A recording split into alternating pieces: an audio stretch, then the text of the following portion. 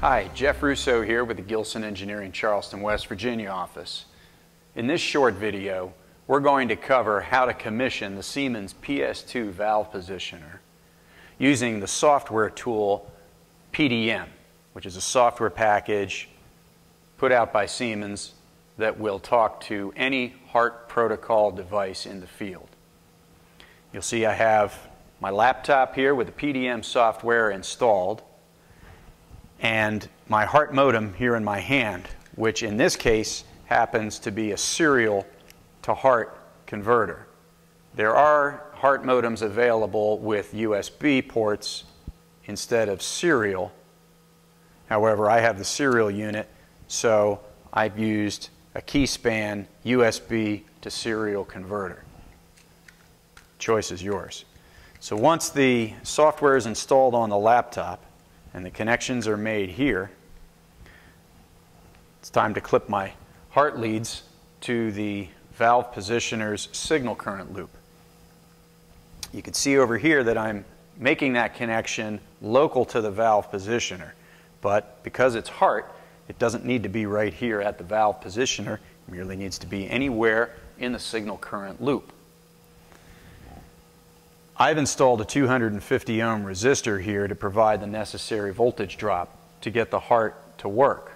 However, often that voltage drop is provided by the voltage drop across the input of the control system and all you need to do is clip across the input leads to the controls. So I'll clip mine across the resistor here. And now that all the hardware connections are done, it's time to go take a look at the software and go through the very few easy steps necessary to put the PS2 into action. Let's take a look at configuring the Siemens PS2 positioner using our PDM software package. On a Windows 7 system, currently PDM runs under the XP mode.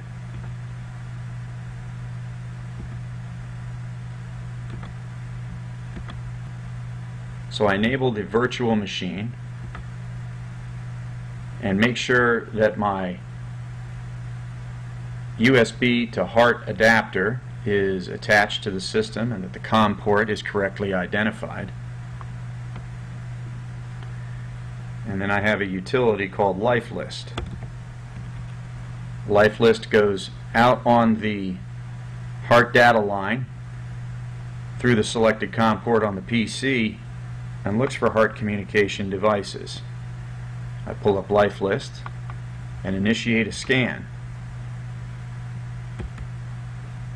And you can see that the software found my HART modem and it also found the Siemens PS2 valve positioner.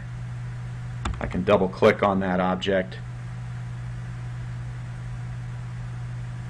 and open the parameter file for the positioner. And you can see that all the parameters for the positioner are listed here on one screen. To configure the PS2 for a simple linear control valve application as we did in the earlier part of this video, you simply come down here to basic settings and make your selection. This is the one for a linear valve. This would be the one for a rotary valve, but we'll select linear. And then the second parameter I choose is, again, whether my potentiometer is acting through 90 degrees rotation or 33 degrees, 33 degrees rotation. 33 degrees is only selected for short stroke applications.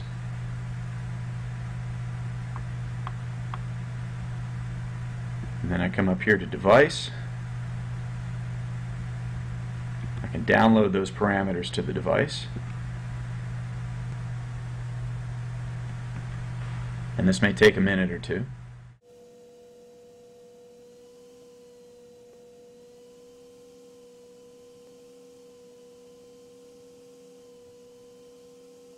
Now that that has been successfully downloaded to the positioner, I can come up here to the device menu again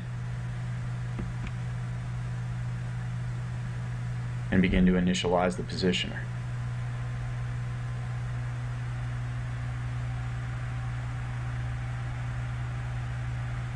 Hit start initialization and it would be just as if I had gone into menu item 4 on the positioner, held the plus key down for 4 seconds, and when I do it here, you can hear the positioner start to initialize.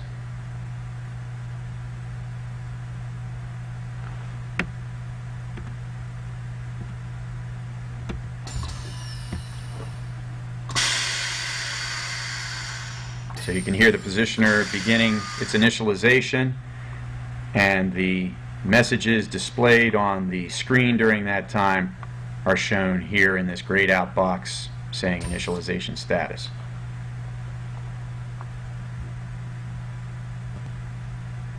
And again, customization is easy. You simply come down here, make the changes in the appropriate parameters, download your changes to the positioner, and then initialize again if you need to.